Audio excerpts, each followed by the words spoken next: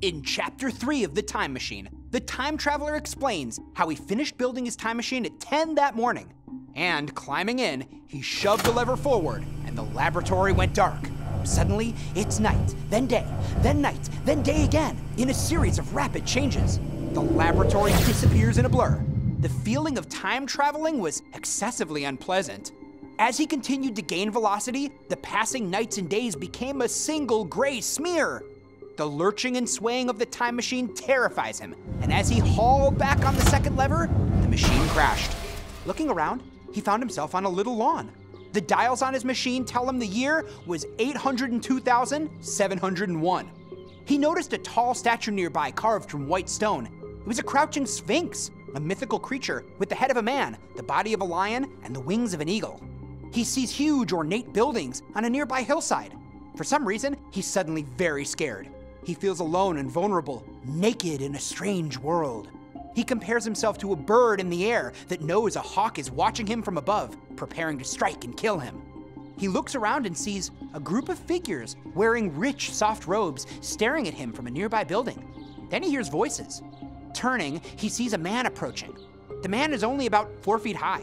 He's bareheaded and has soft, round features, and is wearing a purple tunic with a leather belt and footwear like sandals. To the time traveler, he seems beautiful and delicate, like a child.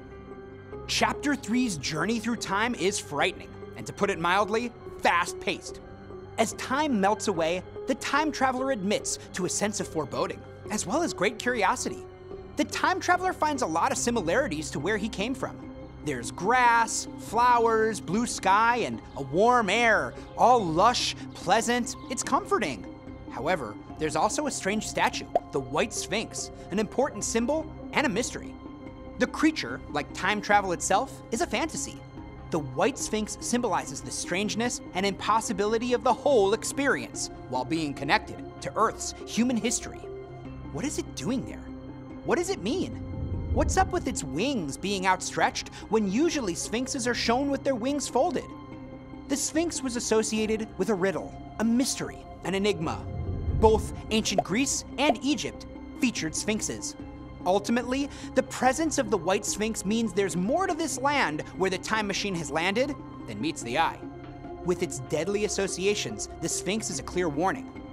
The little people that soon crowd around the time traveler are like children in height, dress, and behavior, but their presence is difficult to interpret. Like children, they are characterized by innocence and simplicity.